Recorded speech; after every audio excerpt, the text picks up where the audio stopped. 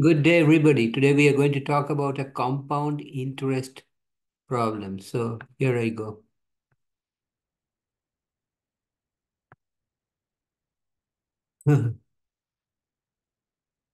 Find the APY annual percentage yield for an APR annual percentage rate of 6% compounded under four different conditions. So we got to find the annual percentage yield for the first part. Annual percentage rate is 6%, that is compounded yearly. So solution.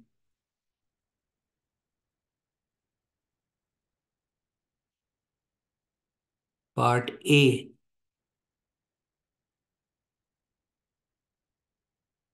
Six percent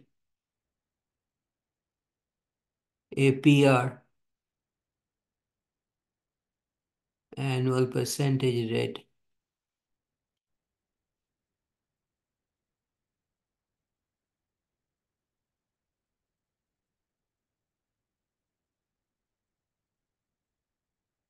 That is compounded annually.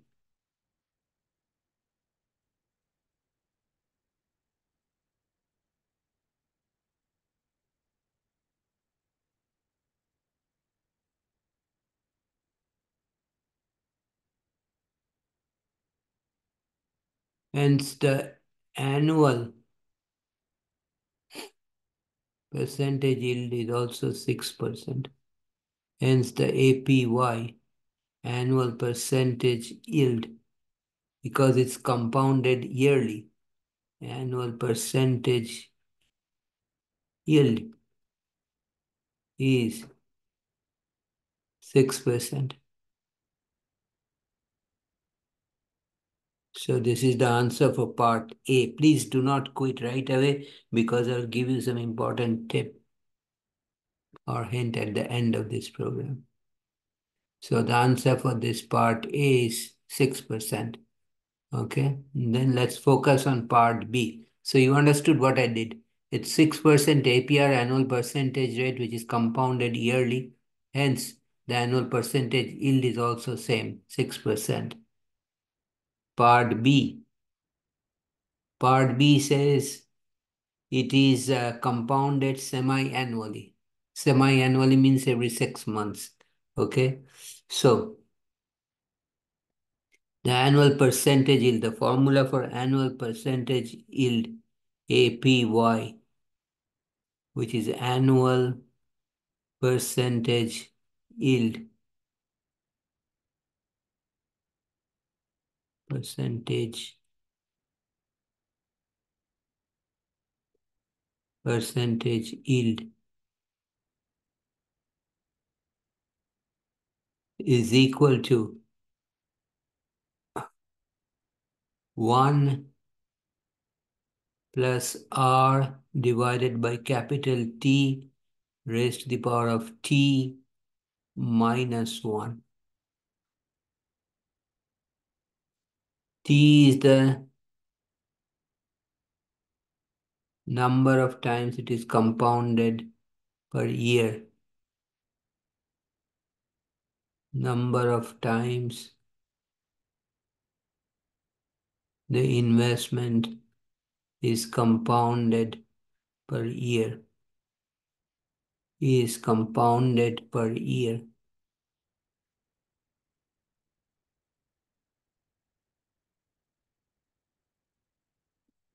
So in this case, capital T is equal to 2. And what is R? R is the annual is R and R is equal to annual in annual interest rate annual interest rate in decimal interest rate in decimal. So here, let me make this clear. This is here. Okay, because compounded compounded semi-annually. So twice a year, semi-annually, twice a year. Here R and also here R is equal to 0 0.06. Okay, uh, just I want to make clear this is minus 1, that's okay, but this minus is over here. Okay, so if I move this a little bit up, create some space. Oops, sorry.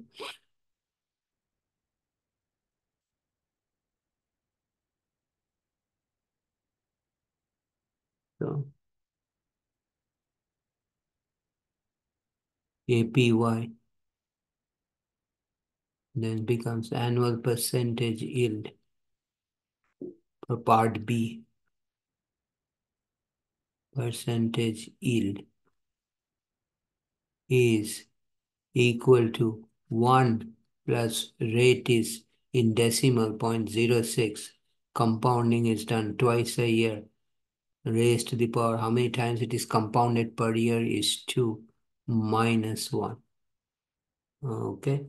So APY then becomes equal to 1 plus 0.03 square minus 1 equal to 1.03 square minus 1 or APY is equal to 1.0609 minus 1 which is 0 0.0609 or 6.09%.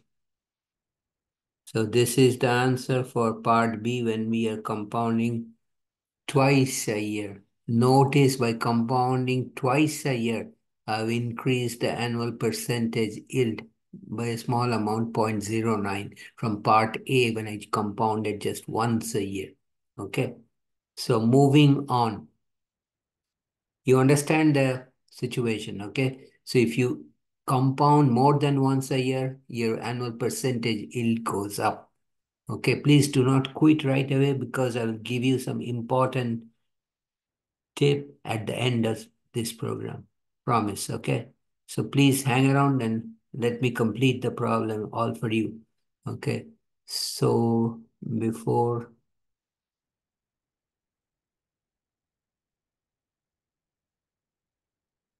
uh, let me see what is part C. Part C is monthly. Part C is APY. Again, we will use the same formula. C is part C. So let me create some more space, right? To use this formula, so bring it down. Okay.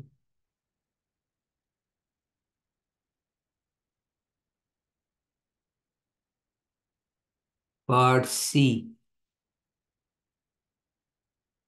Okay.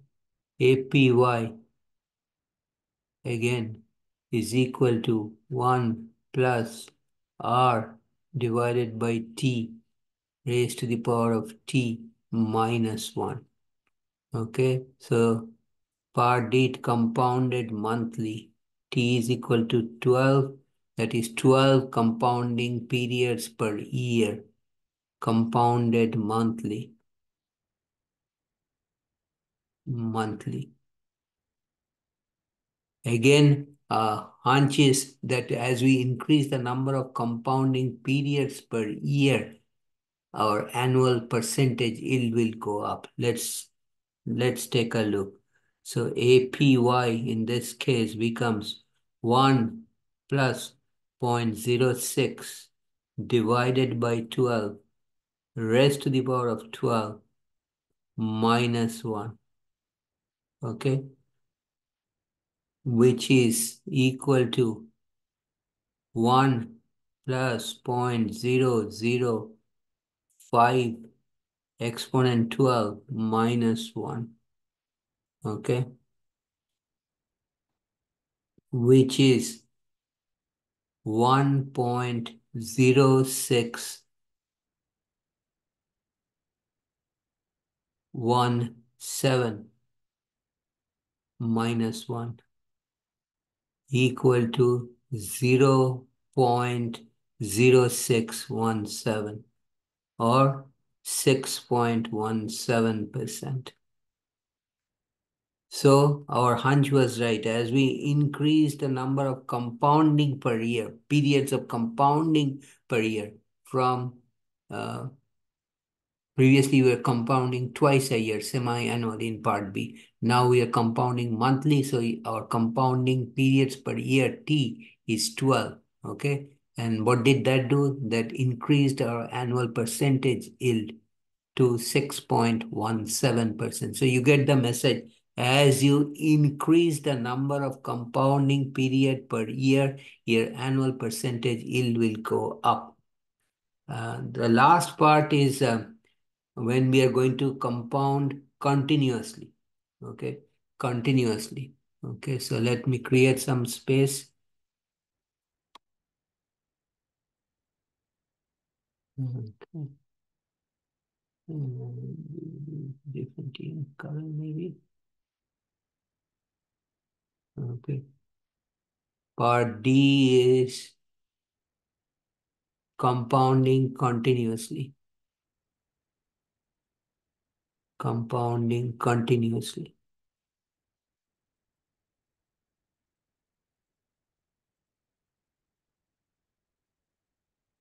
And the formula for compounding continu continuously APY is equal to e to the power of r minus 1, where r is 0 0.06 and e is the natural number.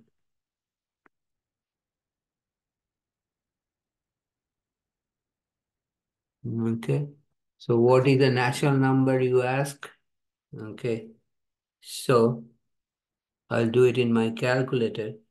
Second EX, okay. Uh, let's see, no clear.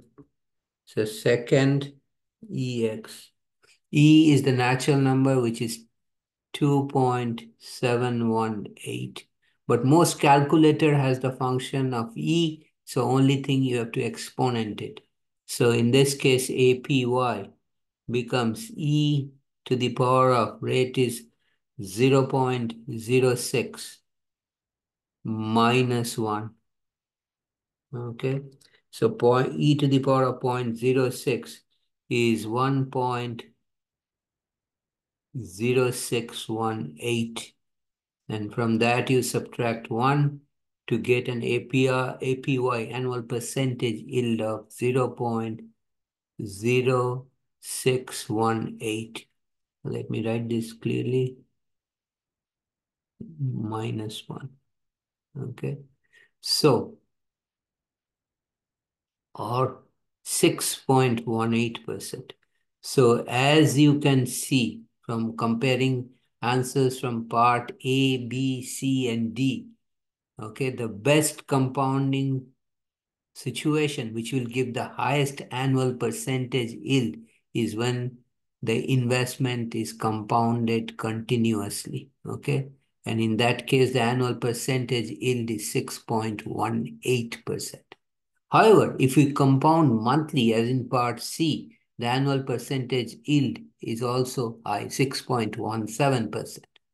And when we compound semi-annually, it is uh, it is the yield is 6.09%. So let me give you a short quiz. Okay, so let me move this up a little bit.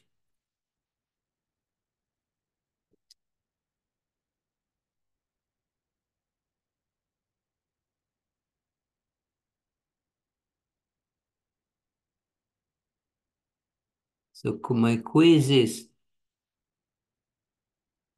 what is the APY annual percentage yield. When the investment is com or investment is compounded quarterly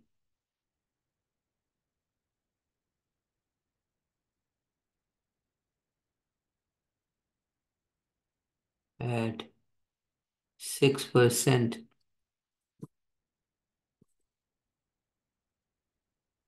at 6%.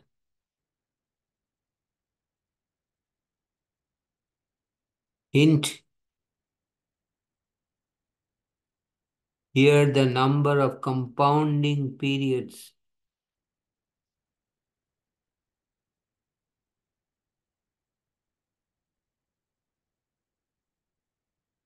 per year because you're compounding quarterly per year, that is T, is equal to quarterly means every three months you invest, you're compounding.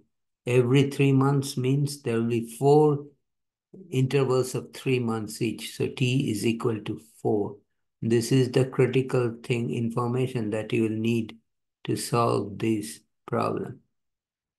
What is the APY when the investment is compounded quarterly at 6%? Okay, so before I stop, I want to give you the uh, tip that annual percentage yield is obtained by the formula that I provided at the top, which is annual percentage yield is 1 plus R over T, where R is the interest rate in decimal. Don't forget that it's in decimal divided by t is the compounding period per year raised to the power of t or exponented to t, where t is the number of compounding periods per year, minus 1. Okay, that is the formula to be used. So I solved it uh, for yearly, semi-annually, and monthly, and then compounding continuously. And we saw that compounding continuously give us the best APY. But you can extend this and see what will be the APY if the investment is compounded quarterly at 6%. That is my quiz problem. And I will come back tomorrow to solve this problem for you and show you the answer.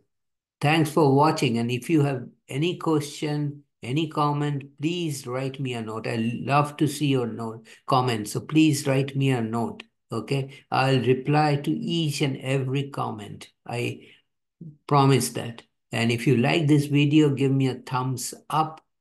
Every time you give me a thumbs up, it motivates me to produce more videos just for you. If you like this video, share with your friends. You and your friends, please subscribe to my channel, Math Science Talk. Please subscribe to my channel, Nandy Academy, by hitting the red subscribe button at the bottom right corner. And I'll be back tomorrow with another interesting problem. Also, I will solve this quiz problem just for you. Thanks for watching. Take care. Have a nice day.